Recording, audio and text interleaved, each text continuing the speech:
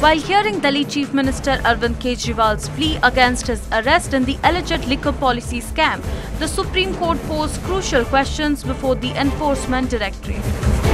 The court asked the agency about the evidences which point towards Kejriwal's guilt or innocence. The apex court was led by two-judge bench of Justice Sanjeev Khanna and Dipankar Datta. As the elections are underway, Supreme Court termed the situation as extraordinary. Said that Kejriwal is not a regular offender and election comes in five years. It further added, and we quote, we need to consider on priority whether he should be released in the interim. In response, Additional Solicitor General S.V. Raju, who was representing ED, said the interim bail to Kejriwal on the basis of election will send a wrong precedent.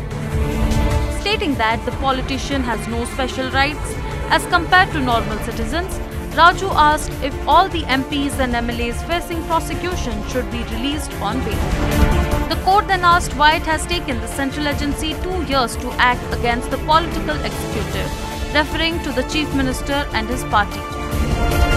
The court also asked the ED to strike a balance in the case. Considering Aam Aadmi Party Supremo's responsibility towards his party, Justice Dipankar Datta said you cannot exclude one aspect.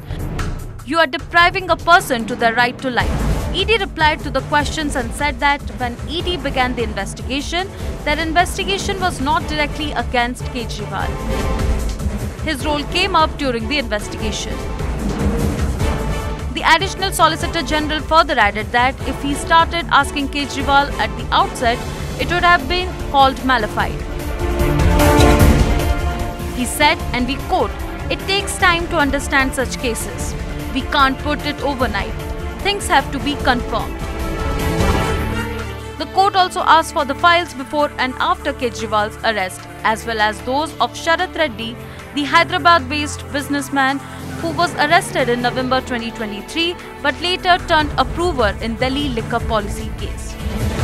Meanwhile, a Delhi court extended judicial custody of Arvind Kejriwal till May 20th.